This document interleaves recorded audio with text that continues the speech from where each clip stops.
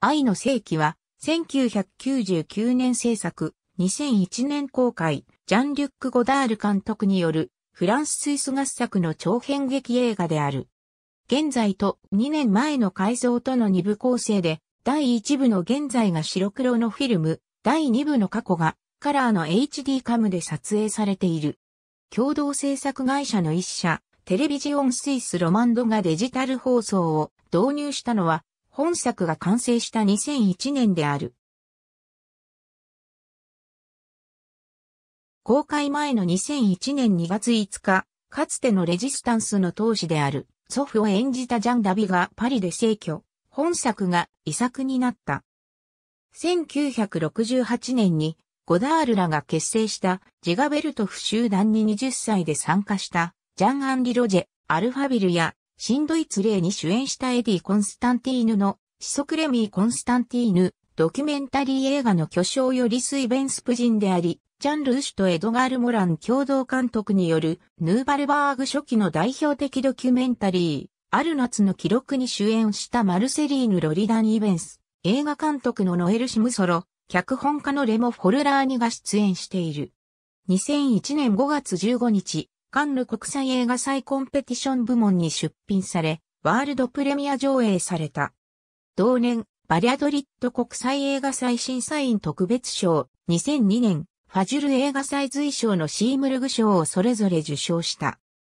他にも、2001年には、8月のモントリオール世界映画祭、9月のトロント国際映画祭、ヘルシンキ国際映画祭、10月のニューヨーク映画祭、11月のロンドン映画祭、フザン国際映画祭、台北の金バススム、2002年1月のロッテルダム国際映画祭、3月のマールデルプラタ国際映画祭、4月のブエノスアイレス国際映画祭、2003年8月のコッペンハーゲン国際映画祭と多数の国際映画祭で上映された。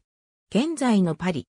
芸術家のエドガールは愛の4つの瞬間を若者、成人、老人の3世代の男女3組によって描く構想を抱えていた。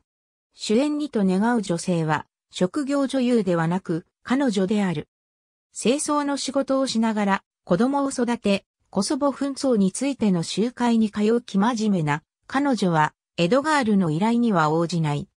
エドガールは構想の実現にこぎつけるが、彼女の死を知る。2年前のブルターニュ。当時のエドガールは第二次世界大戦時のレジスタンスの研究をしており、ある歴史家のもとを訪ねていた。エドガールがそこで目撃するのは、ハリウッドのスピルバーグコーポレーションのエージェントと合衆国国務省の役人が、かつてレジスタンスを戦った老夫妻に回想録の映画化権交渉であった。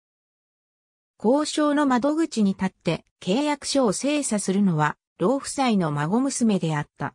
それが、後の彼女なのであった。エドガールは、再び、パリに降り立つ。ありがとうございます。